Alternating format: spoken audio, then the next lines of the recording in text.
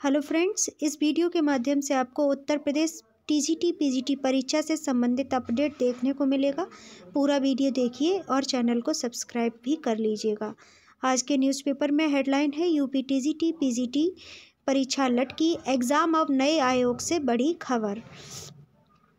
उत्तर प्रदेश माध्यमिक शिक्षा सेवा चयन बोर्ड की तरफ़ से अभी यूपी टीजीटी पीजीटी एग्ज़ाम पर ग्रहण लग सकता है। बता दें, टीजीटी पीजीटी का एग्ज़ाम नए सेवा चयन आयोग से आयोजित हो सकता है। आपको इस पोस्ट के माध्यम से जानकारी बताने वाले हैं। क्योंकि लाखों अभ्यर्थियों को टीजीटी पीजीटी के एग्ज़ाम का इंतज़ार है, लेकिन अभ्यर्थियों के लिए यहाँ एक झटका है। आप भर्ती के लिए काफ़ी लंबे समय तक के लिए इंतज़ार कर सकते हैं। ये भर्ती काफ़ी लंबे समय तक के लिए लटकी रह सकती है। उत्तर प्रदेश में नए टीजीटी पीजीटी भर्ती एग्ज़ाम डेट को लेकर बड़ी अपडेट है।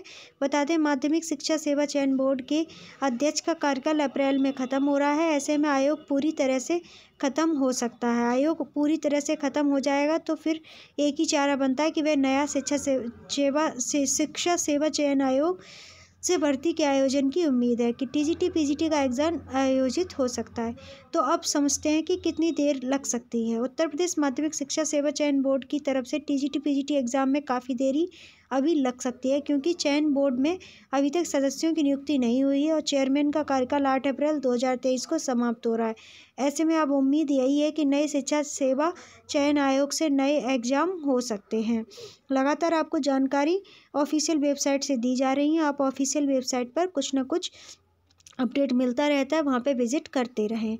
वीडियो आपको अच्छा लगा है, हेल्पफुल लगा है तो वीडियो को लाइक कीजिएगा और चैनल को सब्सक्राइब कर लीजिएगा ऐसे ही नए नए अपडेट पाने के लिए। आप सभी का बहुत बहुत धन्यवाद वीडियो वॉच करने के लिए।